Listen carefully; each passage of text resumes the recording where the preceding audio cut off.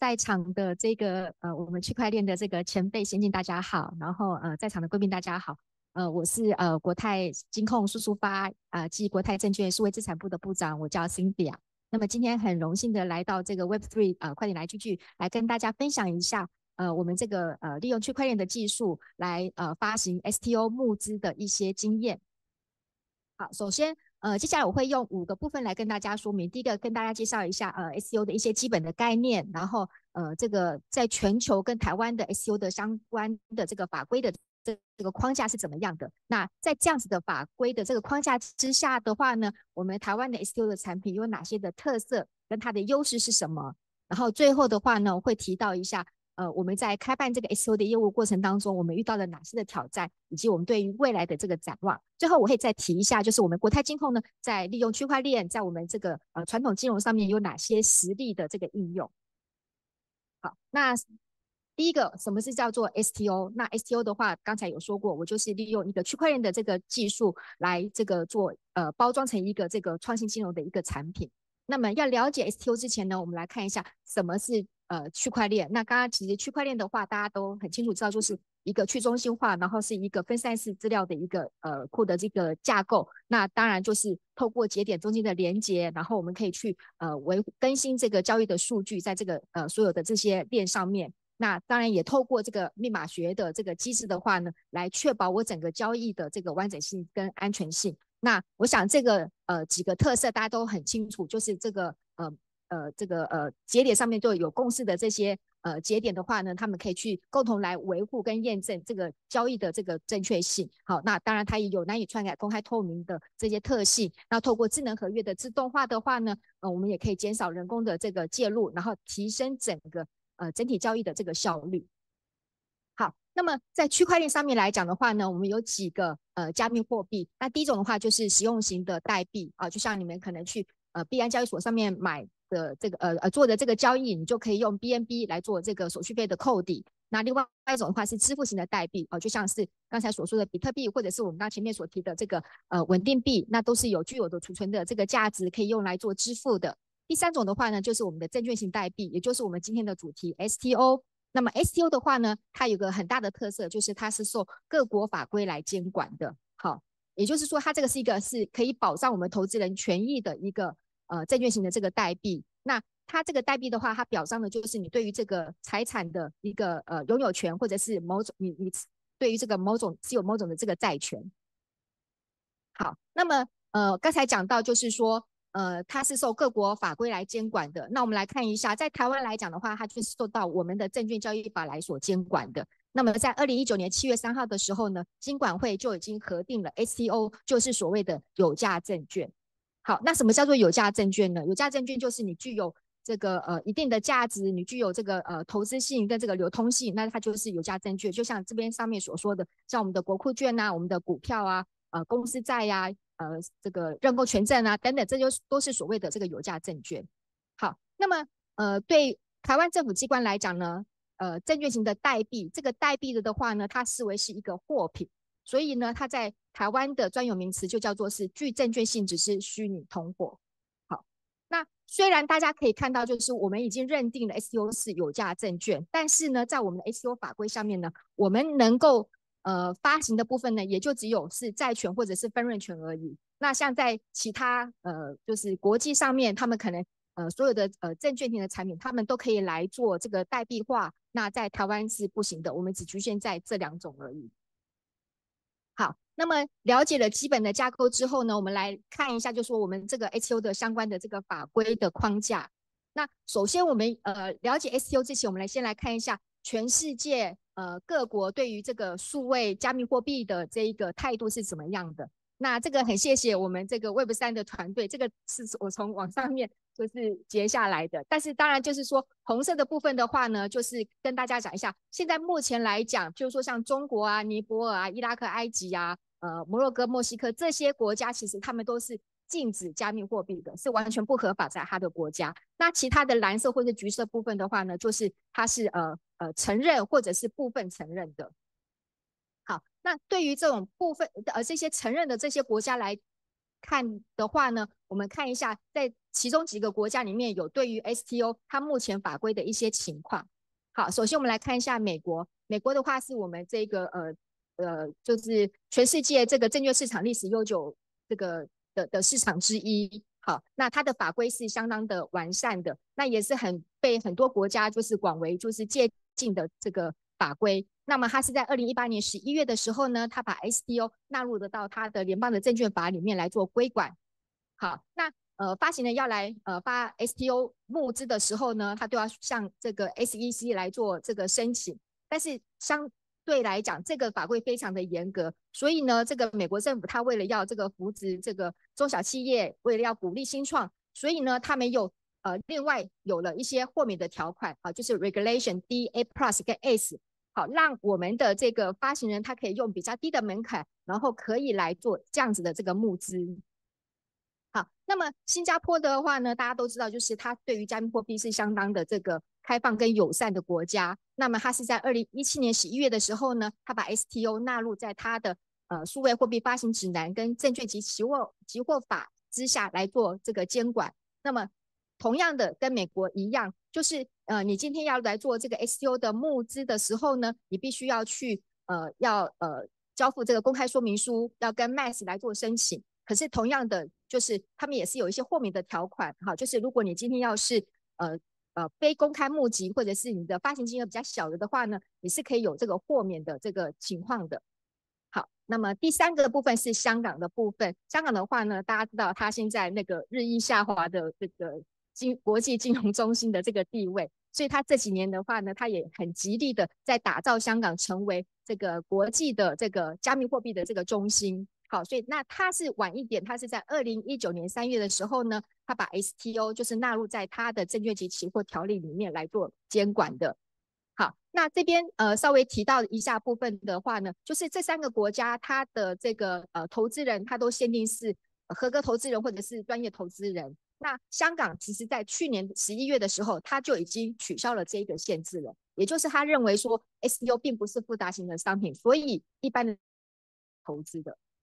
好那最后一个部分的话呢，是日本。日本其实相当早，其实在二零一七年的时候，他就已经承认加密货币可以来成为他们一个支付的一个工具了。可是呢，他是在二零二零年五月的时候，他才把 STO 纳入到他的这个金融工具和交易法的修订版里面。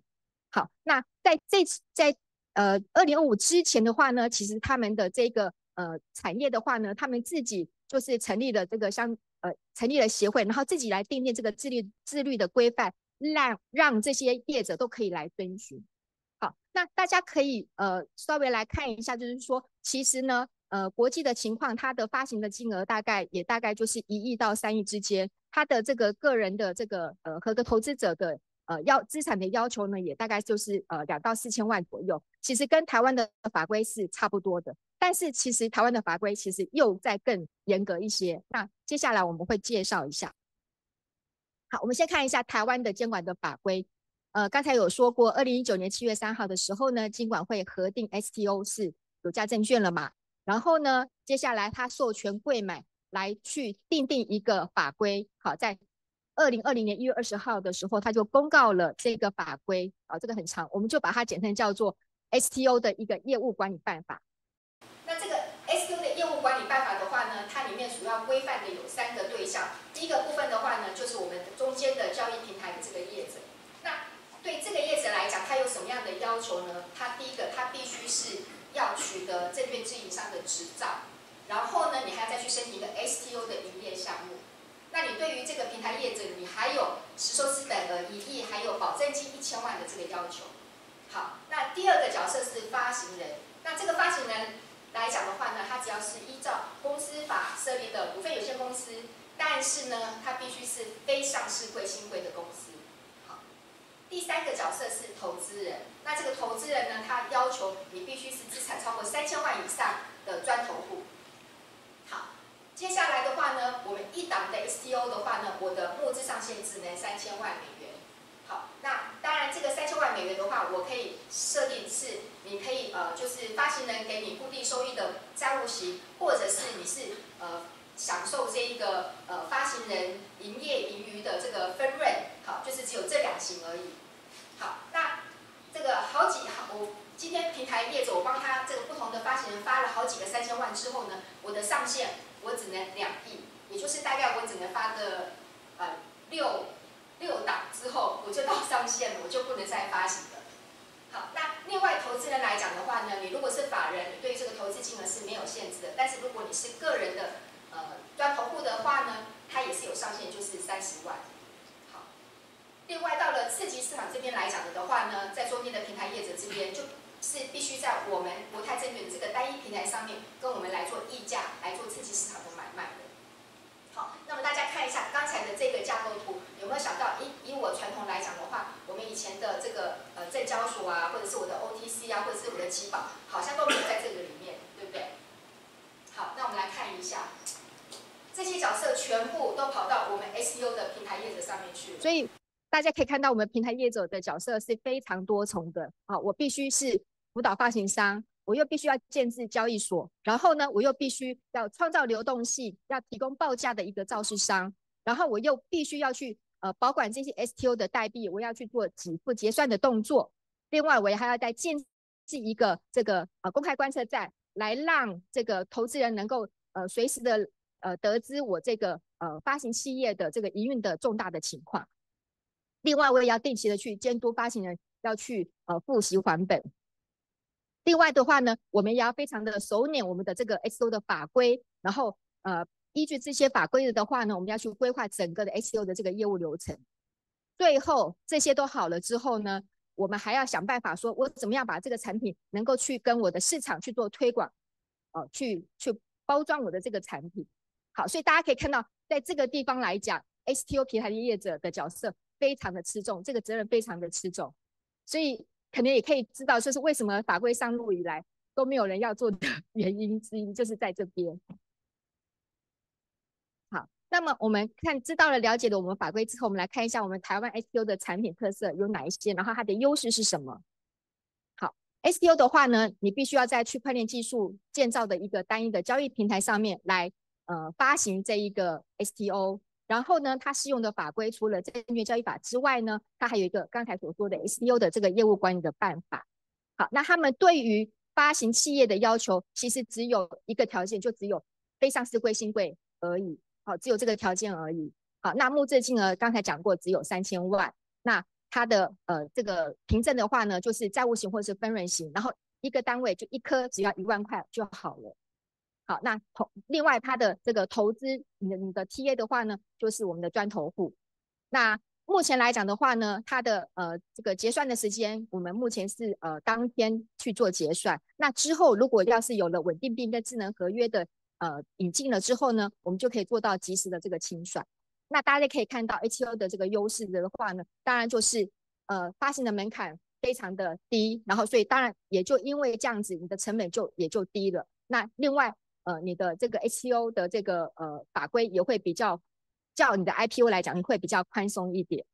好，那唯一就美中不足的地方的话，当然就是它的募资的上限跟它对于砖头户的这个要求。好，那这个是我们可能会去想要跟呃主管机关沟通跟突破的地方。好，那这边的话就可以让他大家知道一下我的专投户的资格啊，当然就是机构法人呐，或是高净值投资法人之类的。那对于自然人来讲，刚刚说过三千万以上的财力证明。另外，你投资人还要必须要具备有呃我们结构性商品，就是所谓的衍生性金融性商品的交易经验啊，然后你还必须要去金融商品专业知识考试要七十分以上，你才能够来买这一档三十万的 产品。所以大家可以看到，就是我我们的这个呃可以推推广的族群真的是很有限，所以这个难度其实真的是相当的高的。好，那我们现在举一个实例，好，这个实例的话就是我们去年呃国泰证券所发行的阳光绿玉债务型的这个 STO。好，那这一档的的话呢，呃就是呃会固定的这个呃付息给我们的投资人，然后呃到期会还本。那我们的呃发行人的话呢，就是我们一家这个呃再生能源业者阳光伏特加。那我们的这个产品的条件的话呢，就是呃六年期的这一个呃呃呃产品，然后是呃每年付息到期还本，利率是三点五 percent。那刚才说过一颗是一万块，那我的发行总额也只能三千万，所以我也只能发三千颗而已。好，那呃除了这个三点五 percent 之外呢，因为它是一个比较新颖的一个产品，所以我们为了要吸引投资人，所以我们也就是跟发行人这边合作，呃，希望他提供了给我们一个额外的一个赋能啊，就是一个绿电的优先采购权。有就也就是说，你今天来呃申购这一档产品的时候，你是可以享有呃低于市价的一个绿电的这个需求。好，那我们来看一下 S U 的这个挑战。呃，我们刚刚前面呃呃呃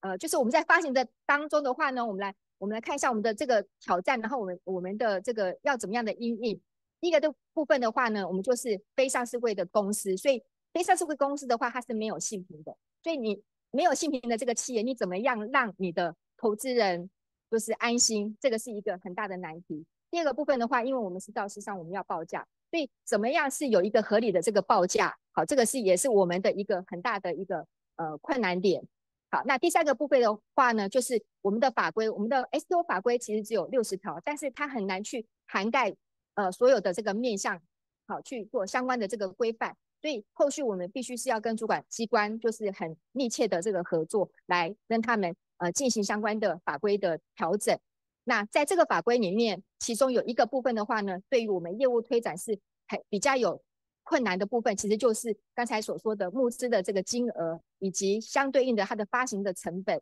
就是呃是有点不成正比的，这个是比较大的一个呃困难的地方。最后一个地方了的话呢，你找找到了发行人，你也设计了发行的条件，然后你好不容易定价好了，然后接下来你要再去呃对你的这个市场去做教育和推广，好，这个是也是一个比较大的呃需要克服的这个地方。那所以常常有人问我是说，既然你前面有那么多的这个困难，然后呢，你的券商又要担负那么重的责任，那为什么你们还要投投入这个 S U 的业务呢？好，那第一个部分的的话呢，想跟大家分享的就是全球 S U 的成长趋势是非常明确的，这个后面会跟大家就是再说明一下。第二个部分的话呢，S U 是目前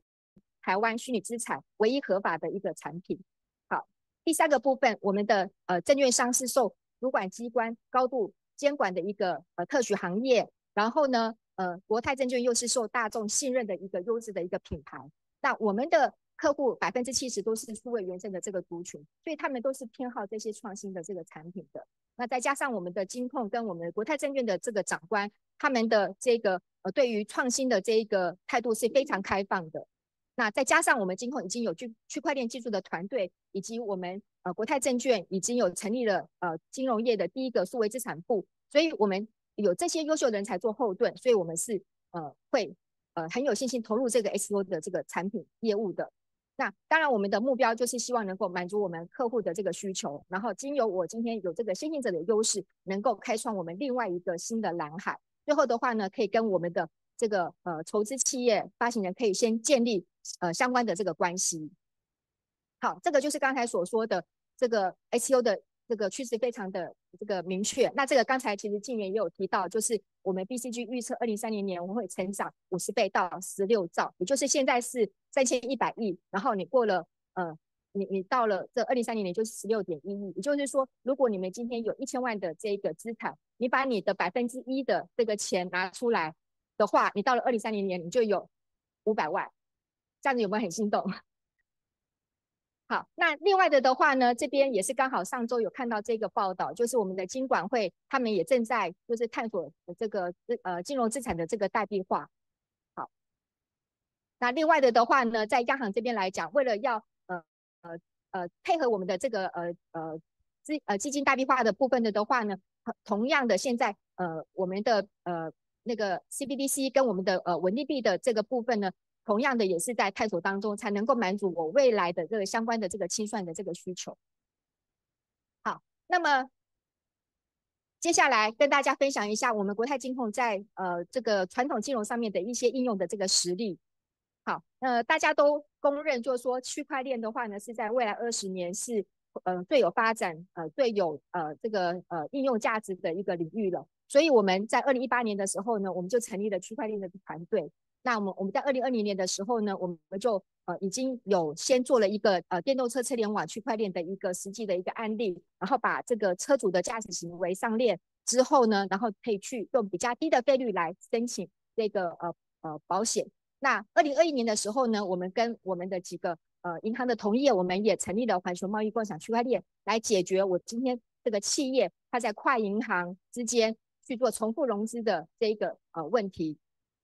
二零二二年的时候呢，我们也找了十四家的产险同业来成立了产险联盟区块链啊，同样的来解决就是客户他重复理赔的这个问题。那二零二三年的时候呢，就是去年我们就发行了台湾第一档的债务型的 SDO，然后同时呢，同一年我们也跟我们的国泰呃产险这边也利用了 Chainlink 预言机的这个机制的话呢，来呃解决我们班机延误险的自动理赔的这个问题。